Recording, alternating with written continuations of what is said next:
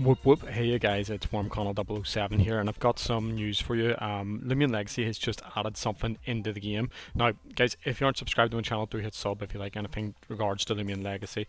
Um, but not only that, you know, make sure you hit the like button as well. So get straight into it. So guys, first things first, um, they actually dropped a Kittone Neko Beret. You can actually buy this now at 85 Robux and it's made by Variable Design. So that's the actual shop and the store linked to Loomian Legacy, which is pretty, pretty awesome. Looks pretty cool, but that's not the main one. Look at this guys, they've also done the, the Gamma and the alpha as well. So whatever color you actually prefer you can go it now the gamma and alpha are not for sale yet but we've seen in my previous videos. Um, there's a lot of other UGC stuff that have come to Loomian Legacy that you can't get right now. So guys if it was for me definitely go do it. Supports the game. Um, if you like the the normal one, do buy it. I say do check it out. Um, and I said the Alpha and Gamma are coming.